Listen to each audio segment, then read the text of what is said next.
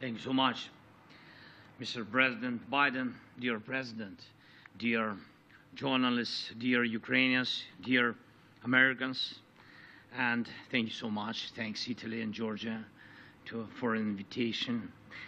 Uh, dear friends, today is a truly historic day, and we have signed the strongest agreement between Ukraine and the U.S.